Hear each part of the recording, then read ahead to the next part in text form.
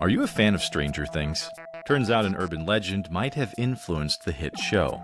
In 1989, an international TV broadcast called Trinity Broadcasting Network made several references to a supposed well to hell that had been discovered in Russia. According to the broadcast, a team of Soviet engineers drilled a hole nine miles into the earth near Siberia, cracking into a hollow cavity.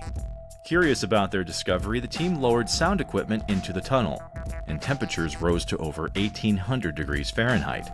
And before equipment began to fail, human screams were apparently heard, prompting the scientists to assume they had indeed found real evidence of hell.